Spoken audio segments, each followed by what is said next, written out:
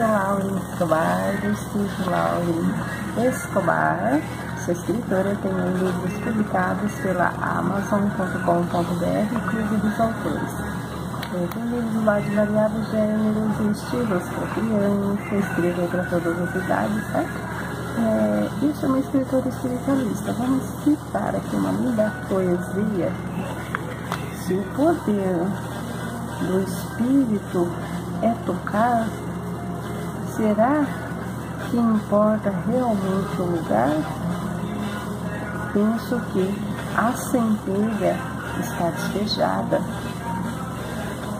Quando tocar em cada qual, terá seus sentimentos,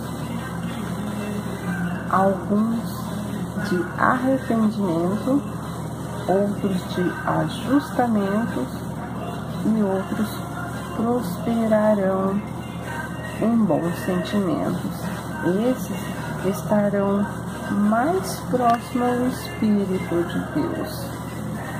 Assim acontece a cada qual a sua transformação e assim atingindo a perfeição, fazendo parte do meu jardim, o jardim sem fim, o jardim do Espírito de Deus. Linda essa poesia, né?